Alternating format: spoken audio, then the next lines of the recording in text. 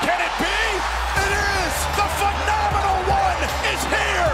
AJ Styles! Oh my gosh! It has been rumored for weeks that the hottest free agent in sports entertainment was heading to WWE.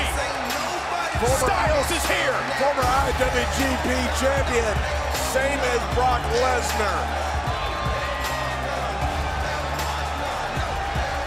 with 18 of offensive innovation. A star around the world. Roman Reigns realizes what he faces now. And I can't believe what we're about to see.